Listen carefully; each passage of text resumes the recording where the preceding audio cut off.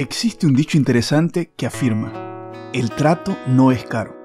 Tal pensamiento apunta a la necesidad de que las reglas de cualquier tipo de relación sean claras, para que no haya malentendidos posteriores.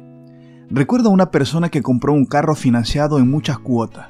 Sin embargo, después de un año pagando al banco, el propietario se arrepintió del negocio que había hecho, ya que descubrió que, por causa de las muchas cuotas elegidas, el valor del vehículo sería mayor de lo que él imaginaba. Aborrecido, acudió al gerente y tras presentar sus quejas, la respuesta que recibió fue la siguiente. Amigo, ¿usted leyó el contrato? Allí dejaba muy claros sus derechos y deberes, pero por lo que veo, usted está queriendo romper el acuerdo.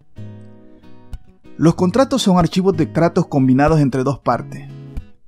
Nos recuerdan cuál es nuestra parte en lo combinado. Interesante que en la Biblia existe un contrato eterno que contiene reglas de conducta que Dios requiere de sus hijos. Las reglas se transmitieron a Adán y Eva en el jardín del Edén, y ellos se las transmitieron a sus hijos a través de la tradición oral. Pero con el tiempo el pueblo fue olvidando el acuerdo y Dios necesitó recordárselos a través de Moisés. De forma simbólica, Dios resumió sus mandamientos en dos principios y los registró en dos tablas de piedra en la cima del monte Sinaí.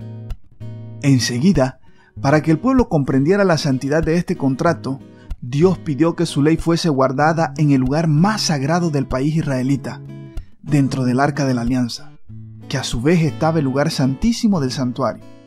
El versículo 10 del capítulo 5 del segundo libro de Crónicas muestra que tal tradición fue seguida por Salomón cuando construyó el primer templo. Leamos. En el arca no había más que las dos tablas que Moisés había puesto en Horeb con las cuales Jehová había hecho pacto con los hijos de Israel cuando salieron de Egipto. Infelizmente, hoy existen muchas personas que defienden que la ley moral de Dios, registrada en las dos tablas de piedra y guardada en el lugar santísimo, fue abolida en la cruz.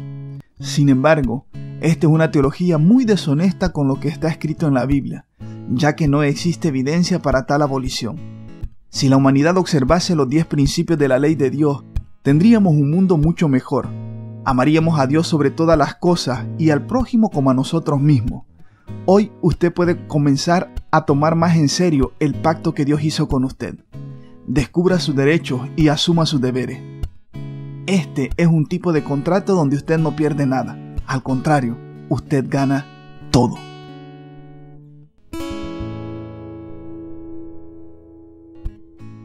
Gracias por ver este video. Suscríbete al canal. Comparte con tus amigos. Y active las notificaciones